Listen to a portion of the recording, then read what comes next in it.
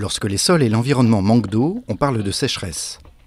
Elle peut diminuer ou détruire les récoltes, affecter les animaux en diminuant leur fourrage ou en détruisant leur milieu naturel. La sécheresse peut également perturber les activités industrielles gourmandes en eau. L'industrie du papier, par exemple, a besoin de grandes quantités d'eau pour la production, tandis que les centrales nucléaires ont besoin d'eau pour le refroidissement. Le manque d'eau chronique peut même assécher des lacs comme la mer d'Aral, qui a diminué de moitié en 40 ans.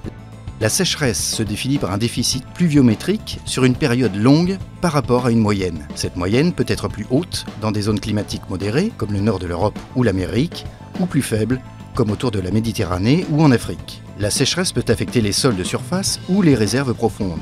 Dans le premier cas, on parle de sécheresse météorologique. Le manque de pluie affecte les cultures et dégrade les récoltes. Mais souvent, cette sécheresse est augmentée par un choix de plantes inadaptées, comme le maïs, nécessitant un arrosage intensif.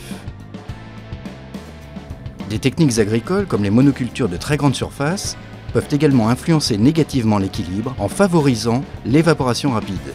Une deuxième variante de la sécheresse concerne les sols profonds et les réserves d'eau comme les lacs, les glaciers ou les bancs de neige. Quand ces réserves sont faibles, l'équilibre naturel est également affecté. Ceci peut arriver même avec des précipitations normales ou fortes, quand le sol n'est plus assez perméable ou quand les eaux sont détournées suite à des interventions humaines. La sécheresse n'est donc pas un phénomène climatique objectif. C'est une notion relative entre la disponibilité et la demande en eau augmentée par l'homme, son agriculture et son bétail. Elle est souvent aggravée par certains usages de luxe, comme les piscines, l'arrosage des gazons et le lavage des voitures.